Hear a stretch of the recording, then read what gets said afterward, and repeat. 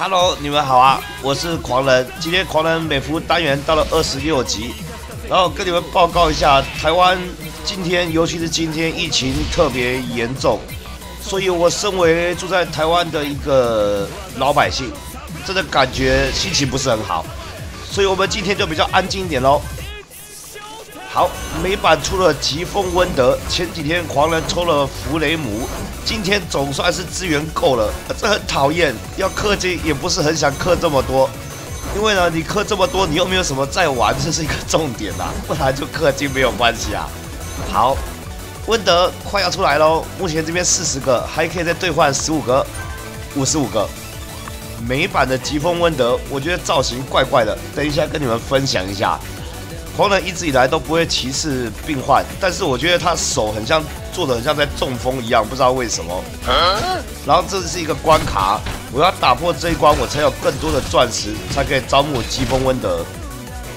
这一关我之前有打过，就给他挂机打，没有打赢，因为他的战力比我还高。美版的战力高，通常你就是很难打赢，高你一些就很难打了。好，来看一下这一场能不能打赢索尼克。当然，在美服，索尼克是一个很棒的角色，至少前期里面他是一个非常棒、非常出色，可以说是最强的一只，我认为是这样。这边我们摆上梅尔在前面拖一点时间，但是索尼克也要活下来。结果跟装甲猩猩形成一个对位，装甲猩猩刚好会有晕眩，所以这一场战斗好像快打不赢。博士又打过来，所以这一场索尼克倒了，失败了。哇，怎么办？变成章鱼烧了！再来一次，你们看那个战力有没有？六六九六八八八，不是六八八八，是六八八而已。六八八更打不赢。我们这边摆正一下，这个战术就是牺牲猩红文女给装甲精灵去晕，然后索尼克撑延场面，拜托了。这一场发两个大招应该没有问题。索尼克准备斩第一斩，猩红文女弹住了。这个弹也不是弹啊，就在前面给他装甲猩猩给他打。好了，索尼克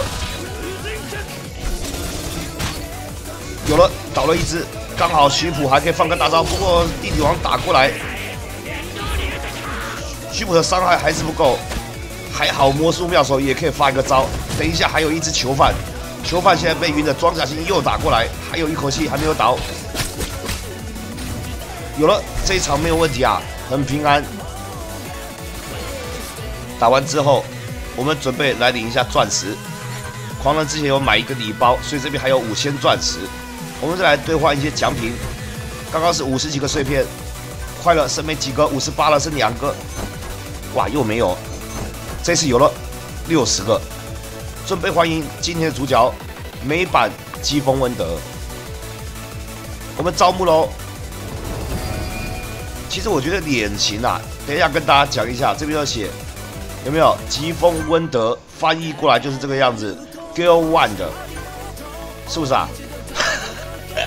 你看他的手很奇怪，他手像中风啊。如果你看不出来，我们去打架就知道了，就是他手怪怪的。动漫是这样子吗？